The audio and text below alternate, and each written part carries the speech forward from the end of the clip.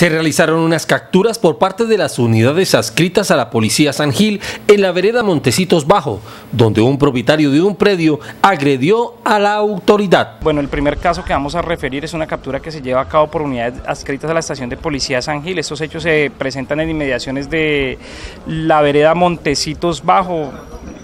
ser próxima al sector de la Palo Blanca, allí en una actividad desarrollada en un procedimiento que iba a adelantar el inspector de policía del municipio de San Gil por un proceso que se lleva por la ubicación de unas cercas y al parecer un uso inadecuado que se le está dando a unas aguas, eh, la persona responsable de este inmueble en forma alterada y, sin acatar eh, el procedimiento que se estaba eh, desarrollando, eh, procede a intimidar y a increpar a las autoridades, eh, esgrime un arma cortocontundente, así como un arma cortopunzante, un machete y un cuchillo, y pues pretende eh, agredir a los, a los uniformados de acuerdo a lo que menciona la patrulla que atendió este requerimiento y por tal motivo se vieron en la obligación de proceder a la judicialización de este ciudadano, es un ciudadano de 59 años de edad. En otro hecho, también se dio una captura por robo a una persona que se escapaba por el lecho de la quebrada. En horas de la noche, tras una llamada al, personal del, modelo de vigilancia comunitaria por cuadrantes, del cuadrante de policía número 2, alertan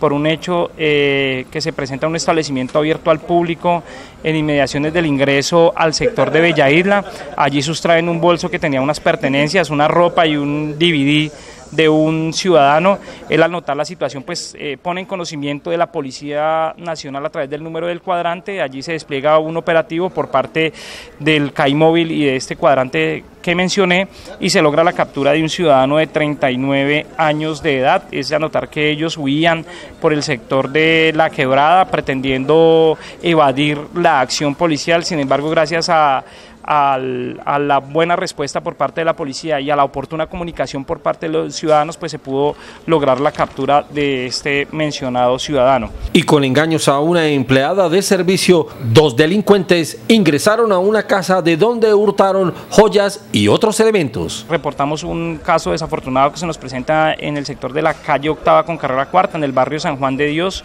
Eh, nos ingresa una llamada al número del cuadrante donde señalan que cerca de las 18 y 30 la empleada del servicio de uno de estos apartamentos, eh, pues quizá en en una forma ingenua atiende un llamado a la puerta, golpean y ella no se percata ni verifica de quién se trata y abre la misma y aparentemente ingresan dos ciudadanos quienes procedieron a, sustraer unos elementos de la vivienda, en este caso eh, un dinero en efectivo, una cantidad de 200 mil pesos, así como unas joyas que están siendo evaluadas por los propietarios, pero que el valor es cercano a los 3 o superior a los 3 millones eh, de pesos. Eh, a la empleada pues le colocan una cinta en su boca para evitar que ella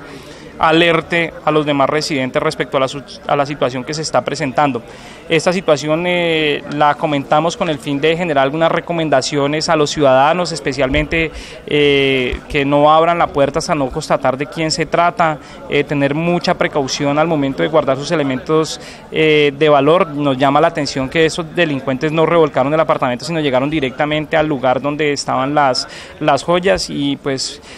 aquí es donde también recomendamos que nadie, salvo los dueños, deben saber cuál es el lugar donde se guardan los elementos de valor tener las recomendaciones debidas y las precauciones al momento de contratar empleados de servicio